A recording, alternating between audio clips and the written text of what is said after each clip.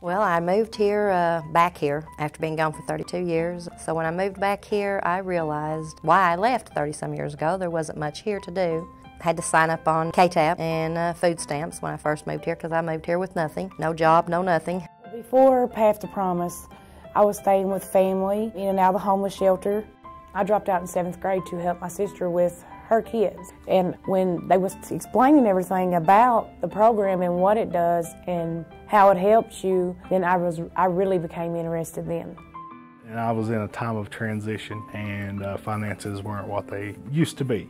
So uh, I was here taking advantage of the LIHEAP program for the electric bill that year. A couple people approached me about the Path to Promise. I thought that was just awesome. I mean, here I am coming back here after being gone for so many years and getting to go to college and getting to have a job while I go to college to help me pay for that and to survive. They don't offer this anywhere else. We didn't feel like we were going to be here much longer because we didn't feel like there was anything here. This really turned things around. They offered help in paying for tuition, books, gas. They provided money for travel expenses. The way everything unfolded has been really awesome. You have no excuses not to do the program unless you just don't want to get off your butt and do it. It's a complete support system. Path to Promise helps you get, like last year, my CNA classes, they helped me get my scrubs, my shoes, my watch, everything I needed for that semester. Path to Promise will help you get.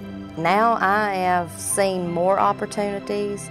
I'm, I'm surprised. I'm tickled to death with my, where I'm at right now. I don't know where I'd be today without being a part of this. It's worked out awesome. I never thought in my 30s that I would be going to college, actually making something of myself, and being successful about it. And I'm so grateful for P2P and to give me the opportunity to be able to go to college and still maintain my life with my children.